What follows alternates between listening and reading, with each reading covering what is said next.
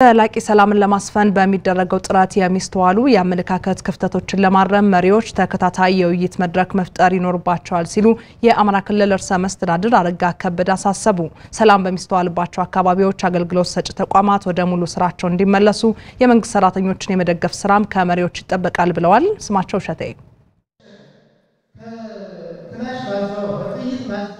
በአማራ ክልል ባለፉት ወራት የተከሰተው ግጭት ያደረሰውን ሁለገብ ጉዳት በመረዳት ወደ ሰላማዊ እንቅስቃሴ ለመመለስ የተደረጉ ጥረቶችን በመገምገም የቀጣይ የቤት ስራዎች ላይ አቅጣጫ ለማስቀመጥ ያለመ የምክክር መድረክ በባህር ዳር ተካሂዷል።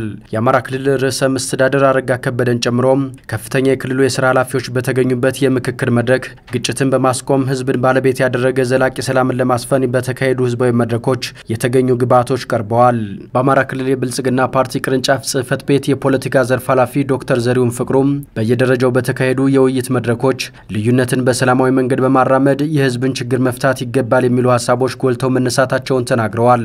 ክልላችን ቀውስና የክልላችን ግጭት ሊፈታ የሚችለው በውይይት፣ በንግግር፣ በሰላም ብቻ መሆኑን መላ የክልላችን ህዝብ በማመን ሁሉም የህብረተሰብ ክፍል በሚባል ሁኔታ እነዚህ ሁኔታዎች መሬት እንዲነኩ የሰላም ሁኔታዎች፣ የውይይት ሁኔታዎች፣ የንግግር ሁኔታዎች በአብዛኛው በአብዛኛው በሚባሉ አካባቢዎች ላይ መሬት የነካና ውጤት የሚያመጣ ስራ እንዲሰሩ የሚያስችል ስምሪትም ጭምር በመድረኮች የተሰጠበት ሁኔታ ነው ያለው። በተካሄዱ የውይይት መድረኮች ችግሮችን ለመፍታት ጥረት ሲደረግ ህዝቡን የሰላሙ ባለቤት ማድረግ የተቻለበት እንደሆነም ዶክተር ዘሪሁን ገልጸዋል።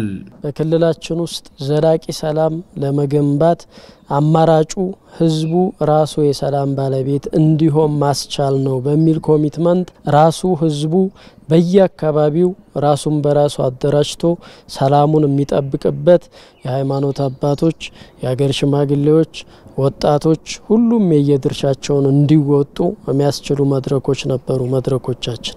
በክልሉ ባለፉት ወራት የተከሰተው ግጭት ዘርፈ ብዙ ሰብአዊና ቁሳዊ ጉዳት አድርሶብናል ያሉት ርዕሰ መስተዳድር አረጋ ከበደም ዘላቂ ሰላም ለመፍጠር የተካሄዱ ህዝባዊ መድረኮች ለክልሉ መረጋጋት ጉልህ ሚና እየተጫወቱ መሆናቸውን አንስተዋል። ሰላምን ከማስፈን ጎን ለጎን የህዝቡን የልማትና መልካም አስተዳደር ጥያቄዎች ለመመለስ አገልግሎት ሰጪ ተቋማትን ወደ ስራ ማስገባት ይጠበቅብናል ያሉት ርዕሰ መስተዳድሩም መንግስት ሰራተኛውን ማዕከል ያደረጉ ተከታታይ ውይይቶች መቀጠል አለባቸው ብለዋል። በየጊዜው መሻሻል ስላሳየ ይህን የበለጠ ደግሞ እንዲሻሻል ለማድረግ የሚያስችል የውይይት ስራ መስራት ይኖርብናል ማለት ነው። በየትኛውም የተቋም ደረጃ ይሁን በ civil servant ደረጃ የሚሆን civil servant ባልሆኑ ተቋማትም ያለ ቢሆን አመለካከቱን ማስተካከል ይኖርብናል ማለት ነው። ስለዚህ ለዚህ ሳንሰለች እና በቁርጠኝነት መታገል ያስፈልጋል ማለት ነው።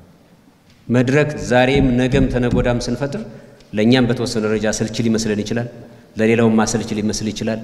ግን ሳንወድ በግድ ያጣ ነው እየጣል ነው የመጣ ነው ጉዳይ ስለሆነ ስላለ ይህንን reverse ማድረጊያ መንገድ ሌላ አማራጭ ስለሌለ ሌላ አማራጭ ስለሌለ ይህንን የአመለካከት ትግል ማድረግ ይኖርብናል። በየደረጃው የሚገኙ መሪዎች የተዛቡ አመለካከቶችን በማስተካከል የደረሰውን ጉዳት የሚያካክስ ስራ ማከናወን ይጠበቅባቸዋል።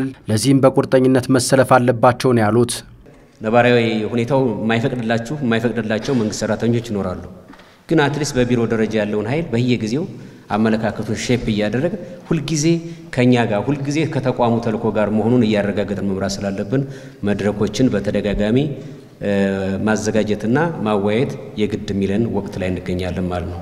ስለዚህ ከእናንተ የምንጠብቀው በአንድ በኩል ውይይቱን በማካሄድ በሌላ መንገድ ደግሞ ወደ ተግባር በማስገባት አሁንም በሰላማችን ላይ የራሳችሁን አስተዋጽኦ የራሳችን አስተዋጽኦ እንድናሳርፍ የሚል ጥሪ ለማቅረብ ነው። በቀጣይ ቀናት ሁሉም የመንግስት ሰራተኞች የሚሳተፉበት የውይይት መድረክ እንደሚካሄድም በምክክሩ ተገልጿል።